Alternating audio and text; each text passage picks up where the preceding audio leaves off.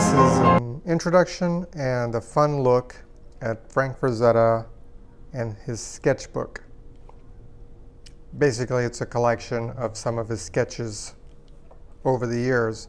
Frank Frazetta, if you don't know, is a very famous, now passed away fantasy illustrator. He really created the genre of fantasy art in the 60s and 70s and through to the 80s. He started out with like pulp covers that revitalized and, uh, well, I guess like, yeah, revitalized the pulp era of books. And then his Conan the Barbarian covers and other Conan books and fantasy books uh, began becoming very big sellers because of his artwork. You know, uh, the reason we know about Conan was because uh, of the covers that uh, Frazetta did for the, um, the Howard uh, books in the 60s. Some of them obviously are finished works. I mean, this is not really a sketch. This is like a finished illustration.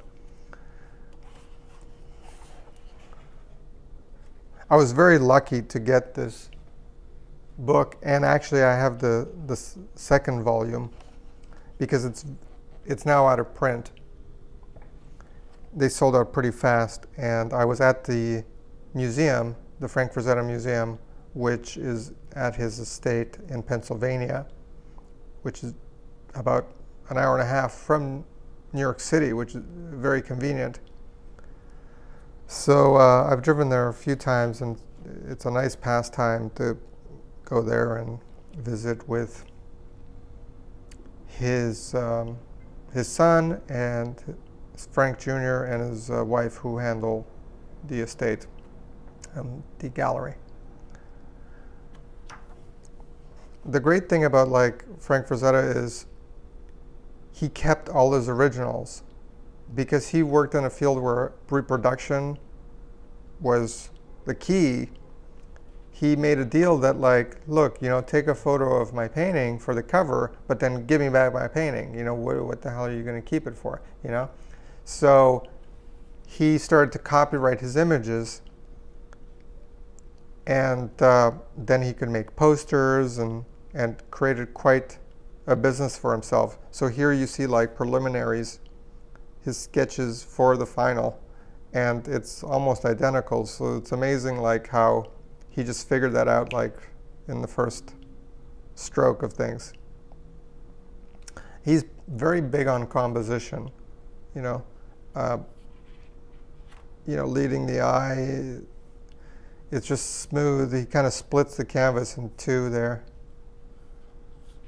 And you see even the signature balances everything like it fills perfectly fills like the empty space there.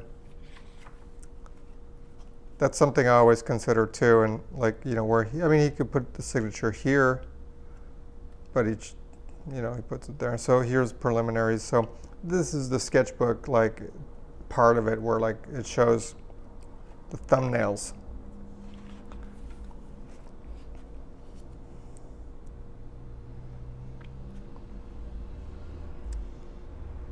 Yeah, I mean, he is such a master in so many ways.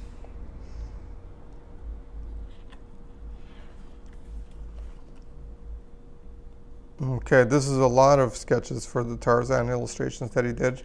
A lot of them in ink there. Beautiful foliage. I mean, he was well known for that. I always wonder, like, where they got all that reference back then. You know, like, he, he was also a keen observer. He was, a, you know, a master and then working in oil, what he did like in fantasy art in terms of like the way he treated fantasy art with oil and his knowledge of lighting and and color dynamics and composition.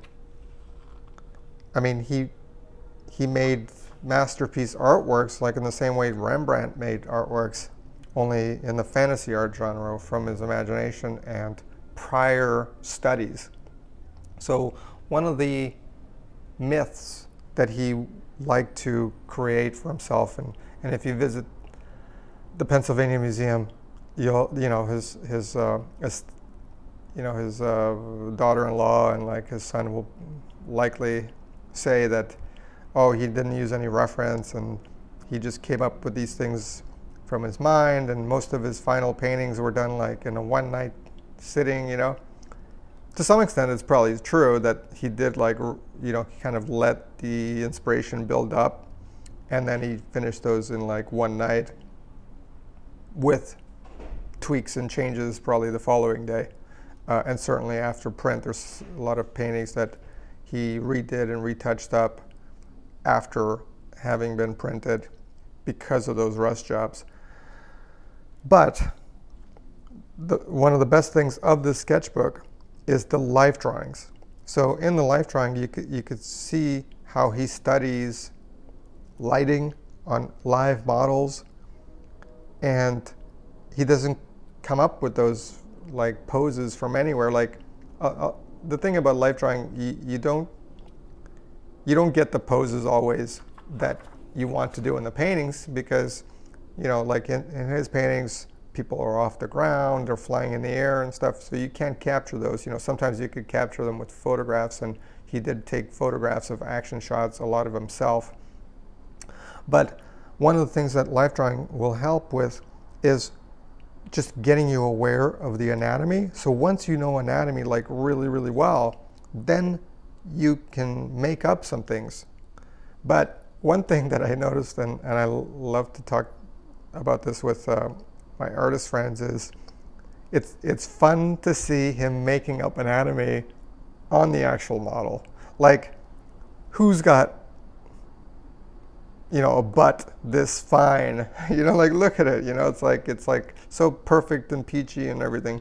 So I feel like in cases like this, he just like accentuate things, and and that's one of his skills as an artist. He is great at selling the figure. You know, at selling anything, and sometimes it's like the combination of the figure or like some cool uh, detail on like an iron helmet or something like that you know, so he's he knows how to like sell things, you know, and then a lot of other things are like kind of mysteriously faded into like, uh, you know, uh, wet oil paint like blurred in in the background and light light underpaintings. And he he'll bring out the things that he wants you to look at. So again like he's studying lighting here. Very subtle. I mean just everything is just wonderfully perfect like such wonderful knowledge of the, the shapes, you know, like he could just rough something very loosely and it's just perfect. You know, there's nothing's too overworked because he knows it, you know? And these are very, very fast. I mean, I could tell that this is maybe like a 20 minute drawing. And this is maybe less so, like 15, uh, maybe even 10. You can tell by the line quality because he, works fast.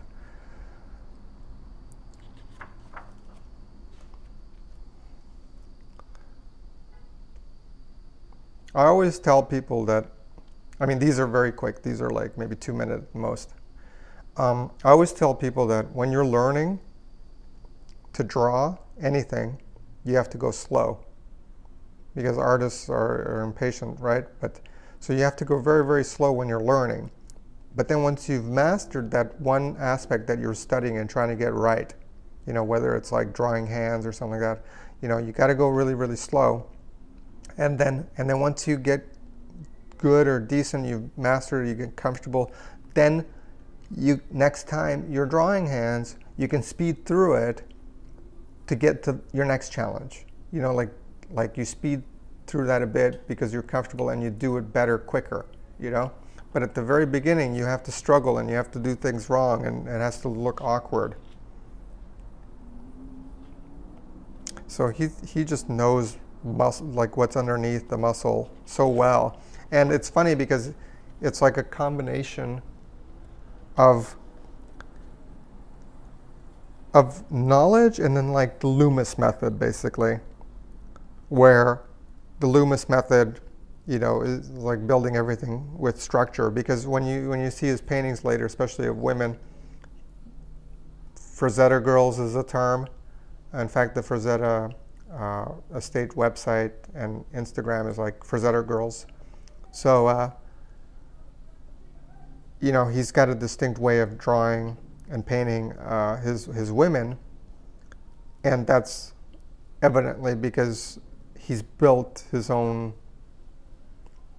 uh, anatomy for them through through a Loomis-like method. So he knows anatomy very very well, but then he he makes up his own too. I mean, beautiful shading here, like the belly button, the way he shows the volume, and unbelievable. This is a gorgeous thing. Uh, like beautiful drawing here, very elegant, like the lines, you know, these subtle, you know, and he, he shades, uh, ah, he shades the interior there, so it's like this, it just, there's a beautiful line, you know, like, and even like, uh, you know, the crotch there, it, it almost like points to, to the top, it like directs the eye.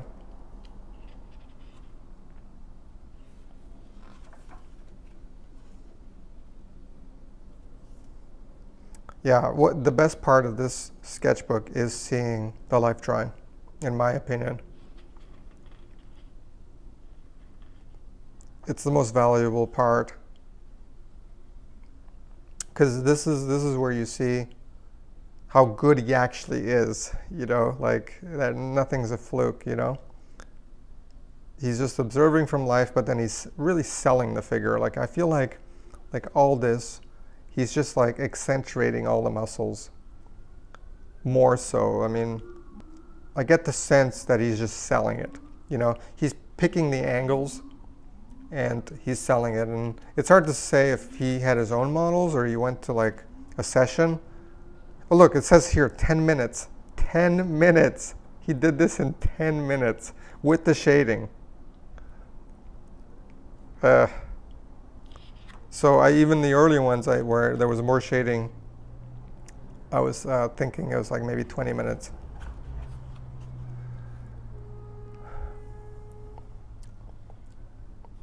So here where there's like this uh, older figure, she shows up in the next volume too, I believe.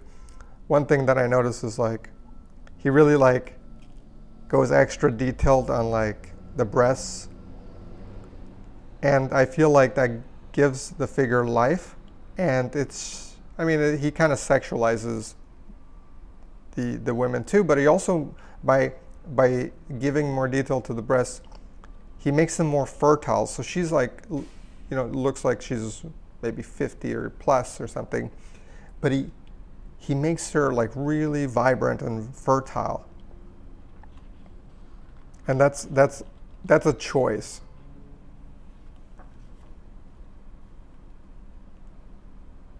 It's an artistic choice. And beautiful stuff here, you know, with the with the cellulite and everything. So he's studying things that he's going to bring to painting. That's what he's really doing. So he's studying basically everything in black and white first, and then he's going to use these in little aspects of his paintings in the future, he memorizes these sh shadows and the way like light reflects and the curves and and you know this stuff. I mean, I've seen this in other paintings of his. You know, like right here, what's happening in the hip. You know, so he'll translate that to his paintings. This is phenomenal stuff. I can't get enough of this. So even this, I mean, like, wow. I mean, she's she's perfect. I mean, either she's perfect or he's accentuating things even more, you know?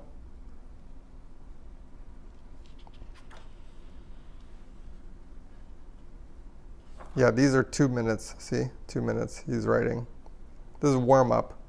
So this looks a little awkward, like his early, just like mine, like my early drawings, not always like the best or I get warmed up, like this is five minutes. So he's doing quite a lot with the shading in five minutes, but then he's just concentrating on parts in this one. This is another beautiful one. Yeah.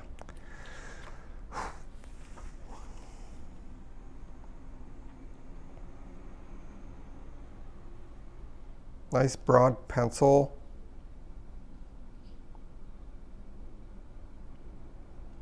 You know, not very sharpened. And just getting like big outlines.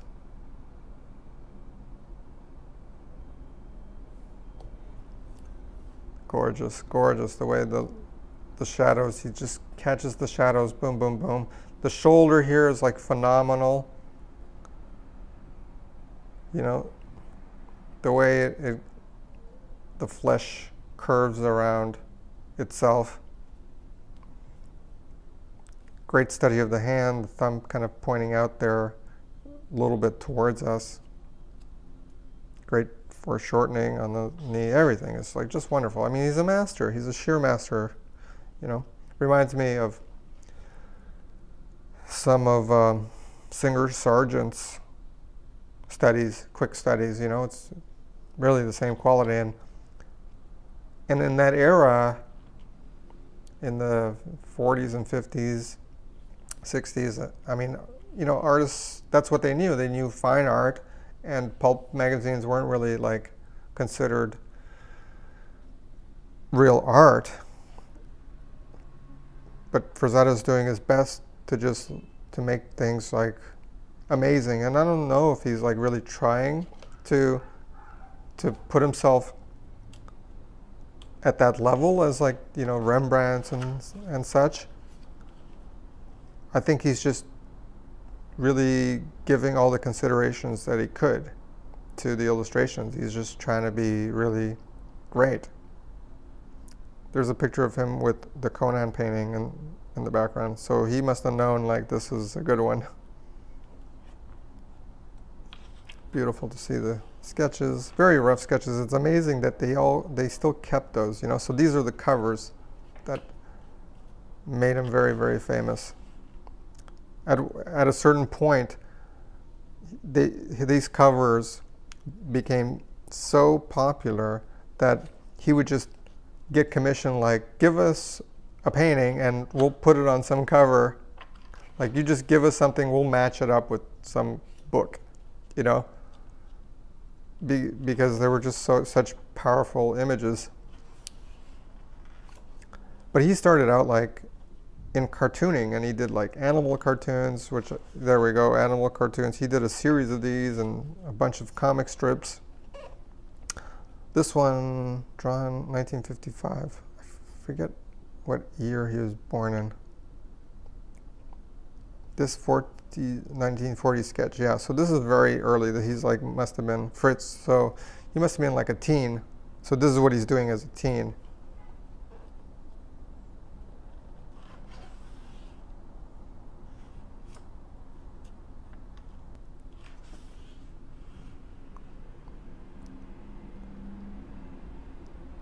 These are copies of other styles, I think.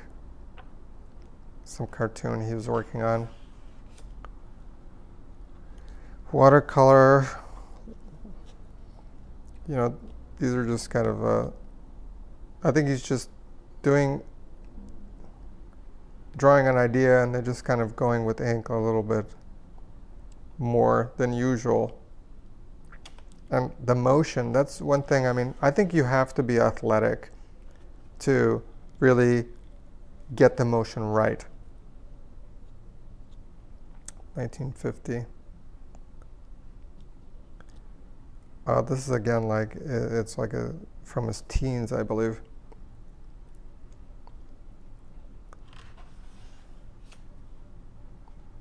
Here he's like figuring out the color palette, but he's got like the action, it's the same, you know, like the composition and everything is the same.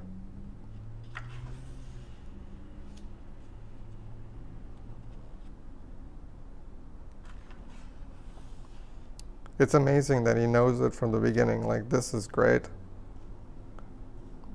Like, he knows exactly what he's going to do from the beginning. He, he gets like a vision and then he does it. These are, I guess, like different preliminaries, different stages of the same work.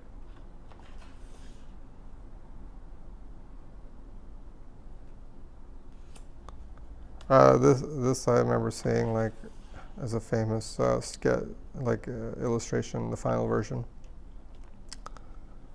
This is a sketch of this. Beautiful, like, you know, the background of the city and everything. Perfect amount of detail. You know, like, makes it believable, okay, and then, like, you know, nice attention to detail at the Chrysler building. And the girl, like, she's she's covered in just the right places, you know? Enough to to pass the Comics Code Authority because you can't quite have like nudity on the cover.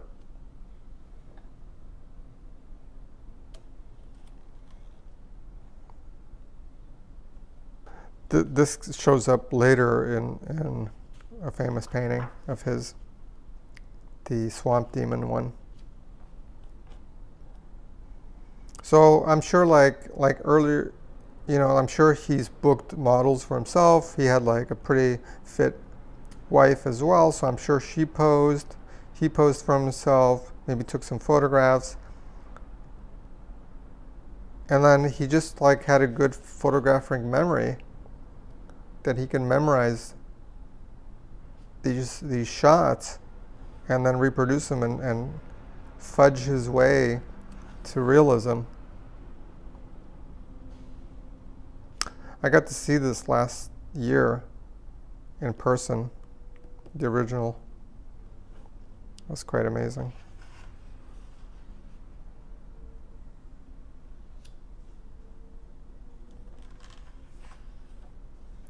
So yeah, this is what a sketchbook looks like, you know, just like uh, rough ideas, often multiple versions of the same idea, just trying to figure out like the best pose for it yeah, here's here's that that painting, the swamp demon, and then he repainted it. So it used to be like this with like um, mammoth, and then it, it, it was revised to this, which was you know more powerful.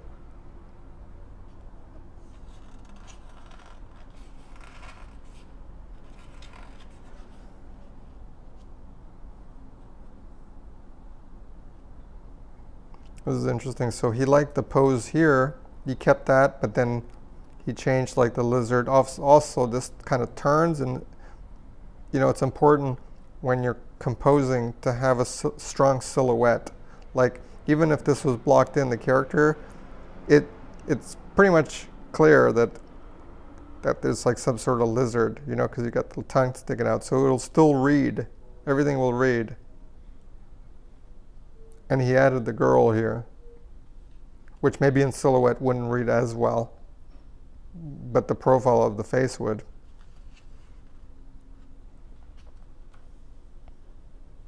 Beautiful, beautiful sketches here, like showing movement. This is in the air. Just the sheer fact that like so many of his figures are nude just indicates how important he felt that life drawing was.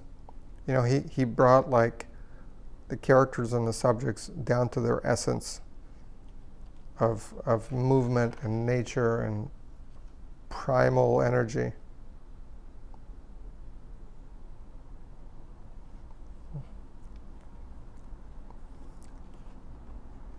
Beautiful. I mean, you see it in the inking here. Great reproduction. So, I mean, this feels like he inked on top of this, so maybe he photographed it before.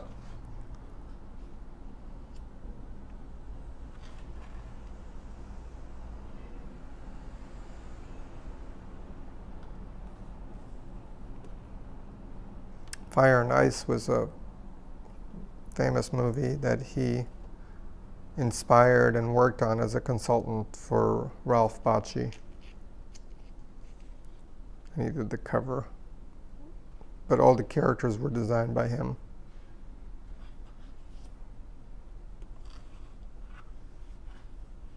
This is, uh, this is always one of my favorite paintings. The Huns.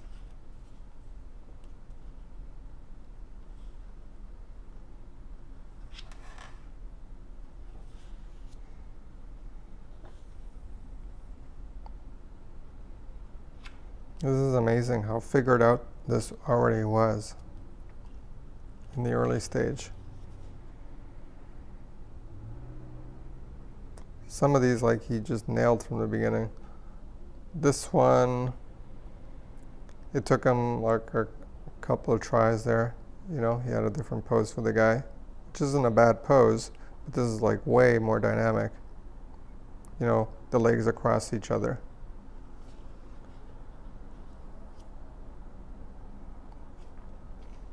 I like this. I love this preliminary.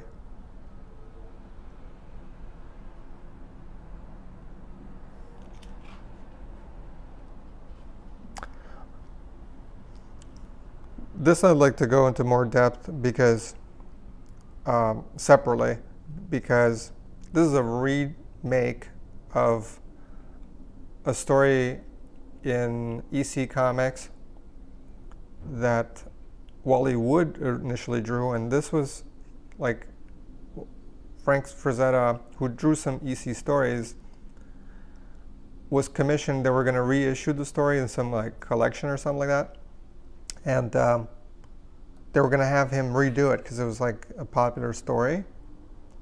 And the premise was that like there's some like female serial killer on the loose, and it plays on the ra- on the radio, and there's this guy in a cabin and uh, this, you know, he hears this, and then the next thing, like this beautiful girl shows up at his cabin, and she's like, "Oh, yeah, I'm lost, and this and that. Can I spend the night?" Blah blah blah. And uh, so he starts getting. She's like beautiful. She's making passes at him, and um, this is the original story. And uh, he starts getting paranoid uh, that she's like the the crazy killer that escaped from like a lunatic asylum and that one at the end uh, he pushes her outside because he, he's afraid that she's going to kill him or something like that. And she gets torn apart by the actual lunatic outside. And then when he goes out she's dead. Uh, so yeah so he frank frazetta was commissioned to redo it and he did all these beautiful studies and and they're all unfinished but geez like chiaroscuro and the compositions, like look, you know, like boom, the house, you know, everything is just framed perfectly. And self studies, I'm sure, because that looks just like him.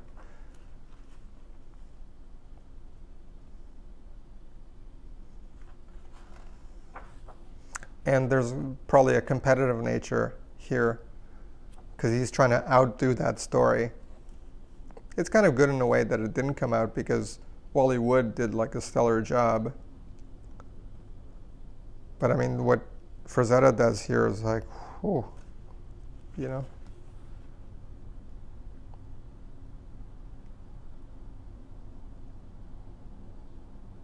I mean, it's hard to tell how he was going to cut these up into panels because it almost seems like they're separate illustrations and somehow he's going to maybe cut them up on a page and panel them out. They almost look like like individual studies. And it's weird how he had them on like this mathematical grid. Just gorgeous studies. Like everything is so sexy, you know, like you could see the nipples through the shirt, you know, like everything. It just like seeps and drips sexuality and he couldn't help himself like putting figures and everything like stuffed taxidermy.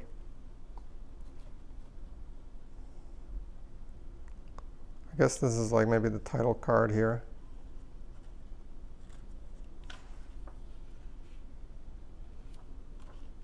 This seems like from a like a headshot you might have seen in some movie. Seems like a copy of one of those famous actresses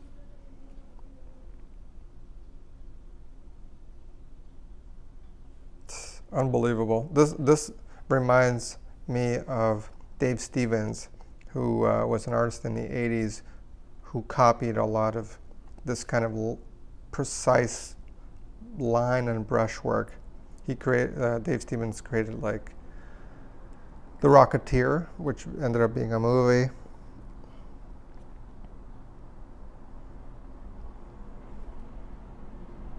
But the, the spotting of blacks is phenomenal. Uh, this, I think this. I wonder if this is supposed to be a real squirrel or a stuffed squirrel. But all the animals are kind of like looking over, like she's so hot.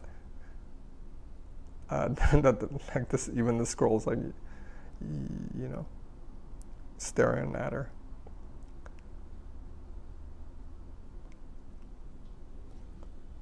And just like the, the shadow, the way he handles the shadow from the tricep it's just like he he just emphasizes it so much. And the great choice of the black shirt, I think that's freaking brilliant. You know, the poses, pose, posing like the the arches in the face. I mean, it just he was on, in a groove and this is powerful too. It's like that that uh, strong strong energy of like a couple, you know, uh, against the odds kind of deal. The boots off the ground, you know.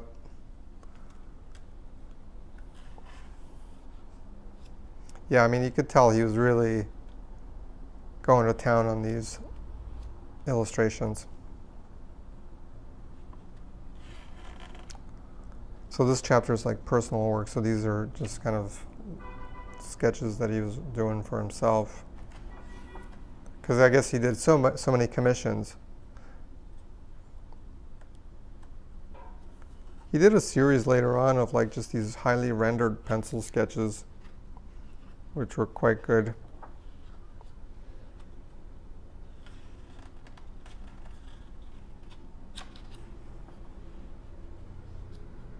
This is cool.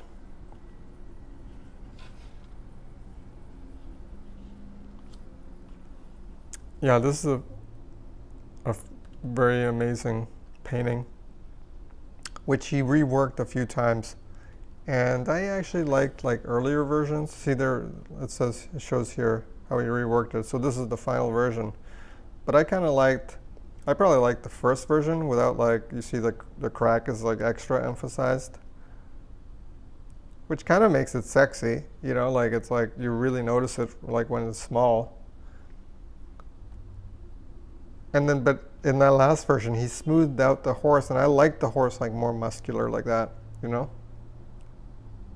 I feel like everything is blurred, and here he's like trying to, she's trying to slow down the horse, like pull, rein him in, which is an interesting choice. But I uh, yeah I kind of prefer the the original version. But that happens, you know. He might uh, who knows what he felt like, which one was his favorite. Sometimes you just you overwork it. In the original, you could see like like the the part here around her butt and her body like they're really cracked, you know, like it's a lot of layers of paint. So the paint started to crack. This is a self-portrait. Studies. It doesn't look like life drawing, so it's like he's making it up, I guess, or he's looking at photographs and stylizing them, just to so it doesn't look like he's copying from actual magazines.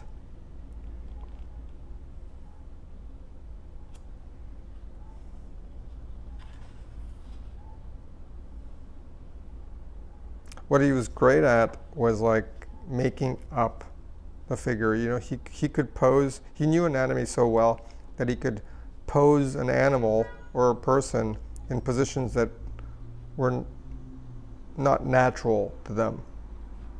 Like this. This is very awkward for the horse. But it still looked good. Same with these. Like, it's almost like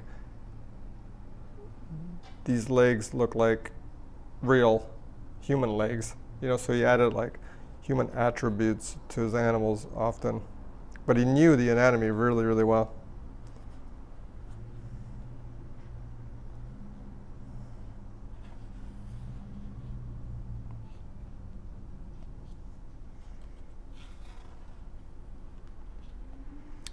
These are, uh, this is his wife and his son, Frank Jr. Beautiful, beautiful uh, portraits of his family. Left-handed drawings. Oh yeah, he later in life he had a stroke, and he had to learn how to draw and paint again, just with his left hand, his non-dominant hand. And this is what he was doing. So he had to teach himself. You know, so he still knows, he still has the keen eye. You know, and who knows how good that still was after the stroke, you know, but he still had the eye and now he had to like use his other hand to to draw. Fascinating. This is for his wife, so I guess he was like religious. Or at least she was, you know. So yeah. Frank Frazetta Sketchbook, Volume 1.